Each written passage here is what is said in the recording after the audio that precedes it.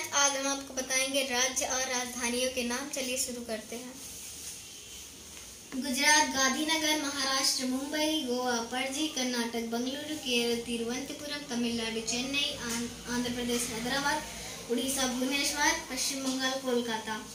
गुजरात से लेकर पश्चिम बंगाल तक ये सभी राज्य समुद्र के किनारे वाले राज्य हैं। अब हम ऊपर वाले राज्य पे चलते हैं।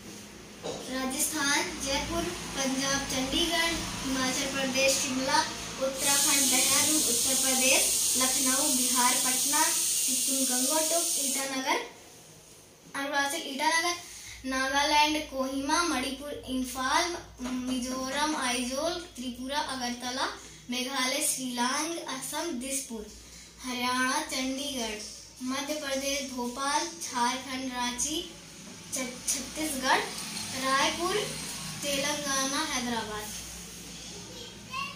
Thank you for watching. Do subscribe my channel.